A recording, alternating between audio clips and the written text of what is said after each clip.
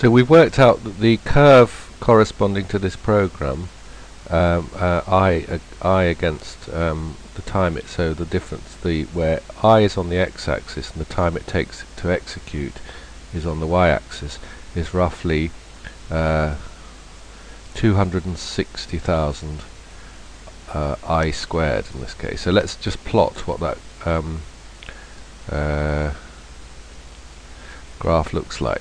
But let's change the, um, what we'll do is we'll set the x range to between 0 and 0 and 1000 and plot it again and we get this.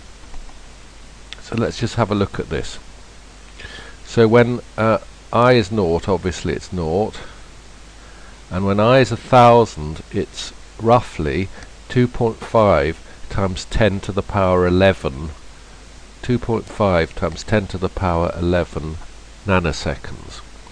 Now a nanosecond is 10 to the 9, so 10 to the 11 nanoseconds is in fact 100 seconds.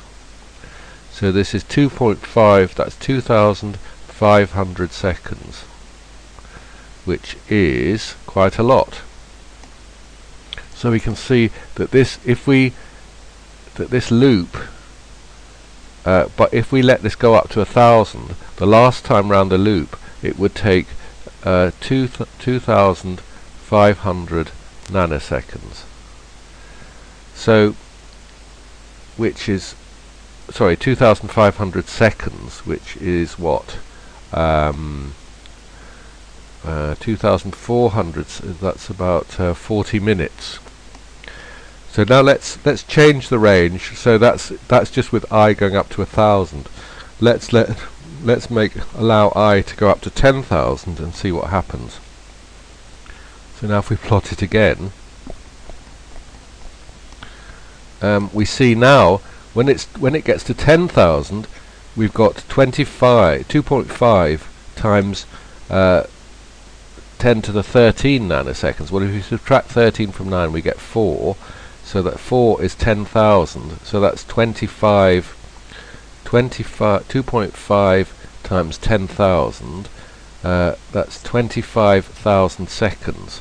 And if we wanted to work out 25,000 seconds how long is 25,000 seconds?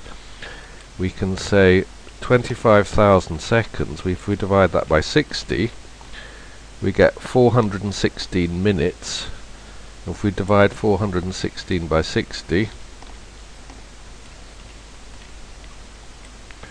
we get about six hours, six and a half hours or something like that. So um, allowing this thing going to go up to 10,000 means that it'll take, the last time round this loop, it'll take uh, six and a half hours just to complete the value for when uh, i gets up to 99 actually. So now let's let's change the range to 10 to 100,000 100,000 rather than 10,000 and see what happens. So now if we plot it, we see when it's 100,000 it's about um, 2.5 times 10 to the power 15. Now 10 to the power 15 is 10 to the 6 because um, 15 minus 9 is 6 that's 10 to the 6 seconds uh, 10 to the 6 seconds is a million seconds, so we've got 2.5 million seconds. So if we, how many work, let's work out how many minutes that is. So we need to put three more noughts here. 2.5 million. 2.5 million, that's right. That's that many hours. And 4166 that many minutes, sorry, uh, which is 694 hours, and 694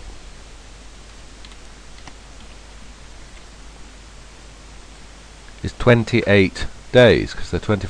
So just going up to 100,000, at this rate, it would take about 28 days to finish the last time round the, round the loop. So I hope that gives you some idea of what it means for, for something to be quadratic. The relationship between n and the time to be quadratic, that means proportional to n squared. You can see it grows quite fast.